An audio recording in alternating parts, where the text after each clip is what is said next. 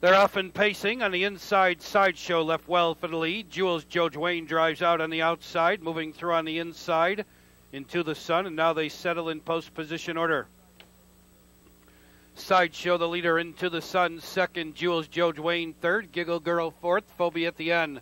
Field of five for the fifth at Balmoral. Move up the backstretch into the quarter. Sideshow, the leader into the sun, racing second. Jules Joe Dwayne wants out of third. Racing in fourth, Giggle Girl, Phobia at the end. The quarter, 30 and one fifth, and up the back stretch they go. Jules Joe Dwayne moving quick on the outside to challenge and take the lead. Sideshow Racing second and third position into the sun. Two and a half lengths back to Giggle Girl fourth. Phobia at the end. They race to the half, and Jules Joe Dwayne now has the lead. Racing in second position. Sideshow into the sun third. Racing in fourth, Giggle Girl, Phobia at the end. Not much pace on as they reach the half in 59 and 3. Around the turn they go. Jules Joe Dwayne, the leader. Racing in second, Sideshow into the sun third, Giggle Girl fourth, Phobia at the end.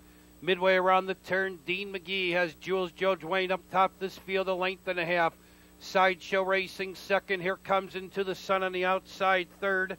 Giggle Girl moves up fourth, Phobia at the end. Heads are turned for home, and they're chasing the favorite Jules Joe Dwayne, three quarters, 129 flat. In the stretch, Jules Joe Dwayne, the leader. On the outside into the sun, second. Sideshow needs racing room, third. Giggle Girl, fourth. Phobia, fifth. Jules Joe Dwayne holding firm. Sideshow now closing on the inside, on the outside into the sun. Jules Joe Dwayne, Sideshow coming out on the inside. Sideshow and Jules Joe Dwayne in a drive to the wire. Sideshow to win it.